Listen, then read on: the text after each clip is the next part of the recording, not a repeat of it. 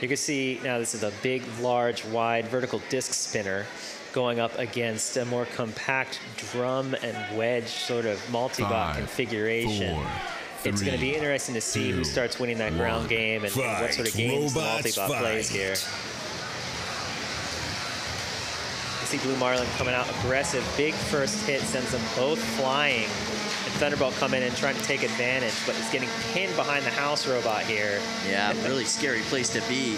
Blue Marlin, though, getting pinned by Thunderbolt's uh, second wedge components. Real good teamwork here, uh, getting underneath them and, and coming in with the hit.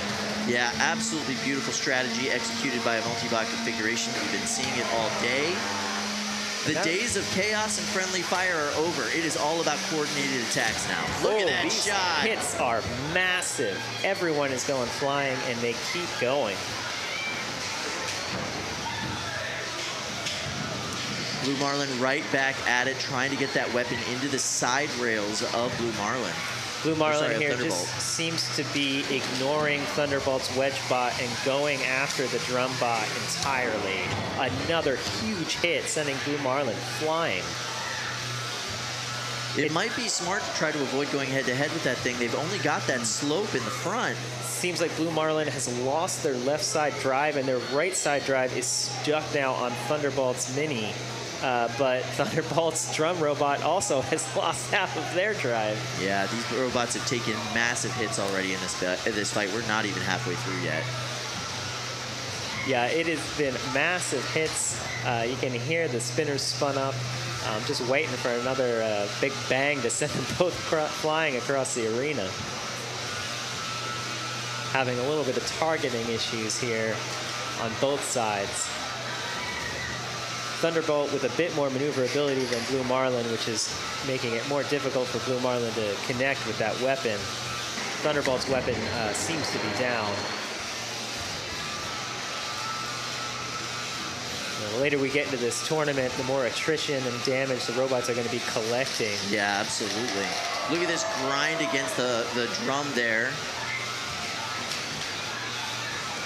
This has been a fairly tight fight so far. I haven't seen Thunderbolt's second component in a while, and that damage could count significantly uh, if it goes to judge's decision.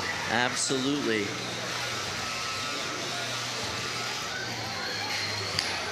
So, you know, there is no distinction uh, between, you know, mini bot and main bot in terms of, of damage. You know, if one of your robots is, is broken, that's pretty much 50% damage. Um, so you don't want to go into a judge's decision with your second half of your multi-bots uh, not moving. Beautiful pin there by Thunderbolt. Really impressive with their limited mobility in this part of the fight. Yeah, really good driving here on one wheel. That is not easy to do, but Blue Marlin is really getting it dialed in as this fight goes, learning how that robot moves with one wheel. Staying aggressive here at the end.